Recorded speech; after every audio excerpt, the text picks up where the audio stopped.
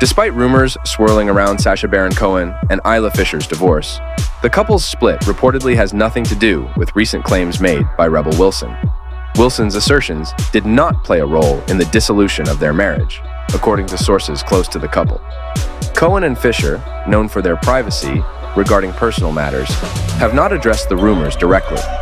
Divorce is often a complex and multifaceted issue, and attributing it to a single factor oversimplifies the situation. Both Cohen and Fisher continue to focus on their respective careers and maintain an amicable co-parenting relationship for their children.